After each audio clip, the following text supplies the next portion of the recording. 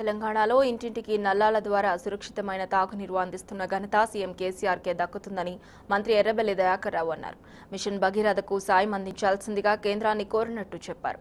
దీనికి కేంద్రం సానుకూలంగా స్పందించిందన్నారు. గ్రామీణ ప్రాంతాల్లో తాగునీటి సరఫరా స్వచ్ఛ భారత్ నిర్వహణపై ఢిల్లీలో జరిగిన సదస్సులో ఎర్రబెల్లి పాల్గొన్నారు. కేంద్ర మంత్రి గజేంద్ర సింగ్ షెకావత్ అధ్యక్షతన జరిగిన సమావేశంలో పలు రాష్ట్రాల నుంచి ప్రతినిధులు హాజరయ్యారు.